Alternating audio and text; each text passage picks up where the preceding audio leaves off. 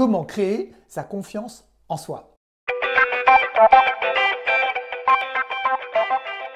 Bonjour et bienvenue, je suis très heureux de vous accueillir dans cette nouvelle série qui s'intitule Mais par où commencer lorsque l'on veut reprendre sa vie en main et donner un nouvel élan à sa carrière? Avant de commencer, pensez à vous abonner à la chaîne de manière à reprendre votre pouvoir personnel.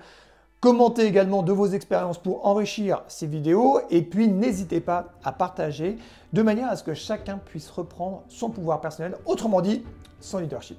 Cette série s'appuie sur le programme du club Lead Greatness qui aide chaque année des centaines de personnes et qui résume les cinq grandes étapes pour reprendre notre pouvoir personnel dans chacune de nos catégories de vie. Ce processus s'appuie sur 20 années d'expérience personnelle et professionnelle dans des accompagnements thérapeutiques et surtout coaching. La promesse de cette série, c'est de vous proposer un parcours cohérent et évolutif. Le club tire son succès de trois approches. Cognitif, d'abord, la formation, sensitif, la motivation, et intégratif avec la transformation. Et oui, dans un parcours où on souhaite reprendre sa vie en main et euh, donner un nouvel élan à sa carrière, comment ne pas parler de la confiance en soi? J'ai d'ailleurs moi-même fait une vidéo, la numéro 7 dans la série Reprendre son pouvoir personnel. Je vous mettrai le lien dans la description. Et dans cette nouvelle vidéo, je vous propose de vous illustrer eh bien, le processus qui permet d'acquérir la confiance en soi. Dans la précédente vidéo, j'avais surtout évoqué les 7 erreurs qui sabotent notre confiance en nous. Et dans ce processus, vous allez découvrir pourquoi, et particulièrement en France, eh bien, nous manquons de confiance en nous. Et ce processus, le voici. Tout commence par l'estime de soi. C'est le socle. L'estime de soi, ça correspond à l'amour encore lui, que nous avons perçu de papa et de maman, grosso modo dans une échelle entre 0 et 8 ans.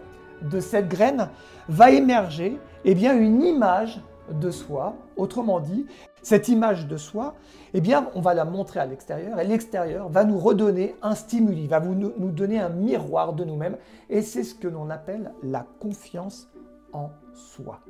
Autrement dit, regardez comme je suis beau avec l'image de soi et surtout, je suis reconnu comme étant un individu à part entière. C'est ça la confiance en soi. Lorsque je suis reconnu par les autres ou pas d'ailleurs, eh bien, je vais pouvoir m'affirmer dans cette société. Autrement dit, je peux aller à la découverte du monde. Et une fois que je peux aller à la découverte du monde, je peux me dépasser. Le dépassement, de soi. Je peux aller dans ce monde parce que peu importe finalement ce, qui je suis et ce que je vais faire, je serai reconnu. Et donc, on en revient à l'estime de soi, aimé sous une forme ou sous une autre.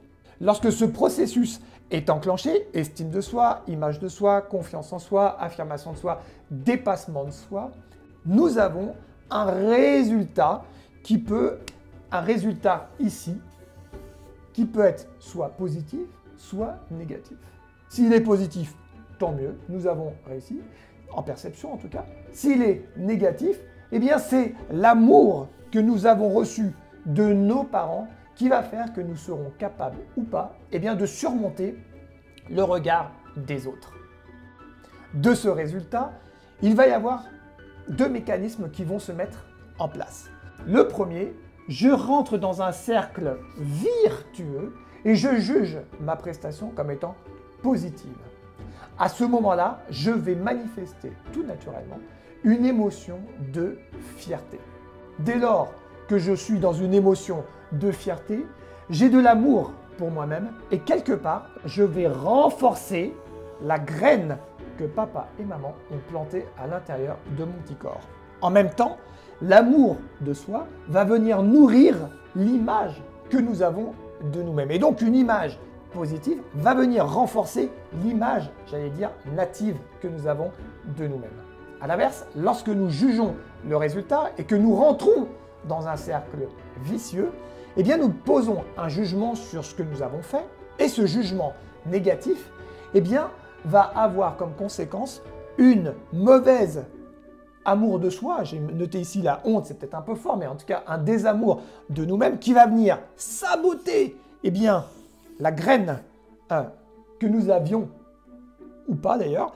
Et en même temps, ça va venir, eh bien, ancrer une image négative de soi que nous avons également issue depuis notre enfance. Voilà pour les deux schémas, cercle vicieux, cercle vertueux. Maintenant, il y a un autre côté pervers à notre éducation judéo-chrétienne. Effectivement, lorsque l'on a un résultat, qu'il soit positif mais petit et ou grand, pour éviter d'être fiers de nous, puisque nous avons appris que la fierté c'était mauvais pour nous-mêmes, eh bien nous entrons dans une forme de vanité ou d'arrogance complètement inconsciente par rapport à ce que nous venons de réaliser. Autrement dit, nous sommes en perpétuel auto-sabotage. Vous comprenez maintenant pourquoi je vous disais en introduction, pourquoi en France on manque cruellement de confiance en nous? Nous jugeons énormément en fait le résultat que nous avons et nous minimisons quelque part nos exploits. Comment faire? Comment faire pour récupérer plus de confiance en soi? Eh bien c'est très simple et à la fois très complexe. Pourquoi? Eh bien parce qu'il est indispensable de valider le résultat, quel qu'il soit, de notre évolution par une célébration.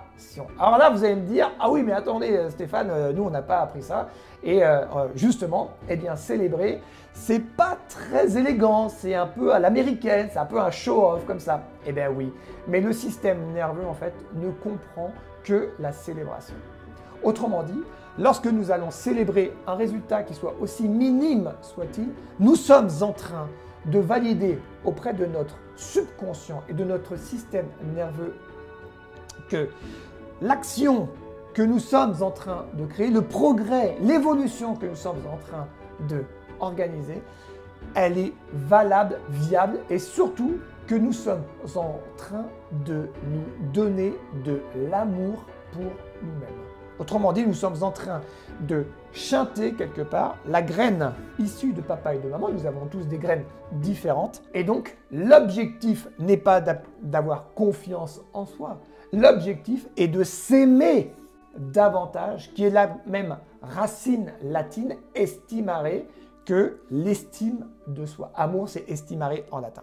Du coup, eh bien, nous avons deux postures. Soit vous assumez complètement votre réussite et ou votre évolution en tout cas, soit vous n'assumez pas votre évolution et à ce moment-là, eh bien, soit vous rentrez dans un cercle vertueux, soit vous rentrez dans un cercle vicieux et le manque de confiance en soi passe exactement par ce schéma-là. Vous comprenez maintenant pourquoi c'est une erreur de commencer par la confiance en soi sans avoir dépolariser nos émotions, sans avoir de projet qui mènera notre vie et ou notre carrière, et surtout si nous sommes encore dans l'attente que les autres viennent combler nos propres manques, ça ne peut pas marcher. Une des formules qui marche le mieux pour augmenter votre confiance en soi, petit fois souvent égale beaucoup. Autrement dit, mettez de la valeur sur vos dépassements. Qu'ils soient petits ou qu'ils soient grands, le système nerveux ne fait pas la différence dès lors que nous sommes dans un processus d'évolution. Et je vous retrouve pour la huitième vidéo, comment retrouver l'état d'esprit de l'engagement? A très vite, ciao ciao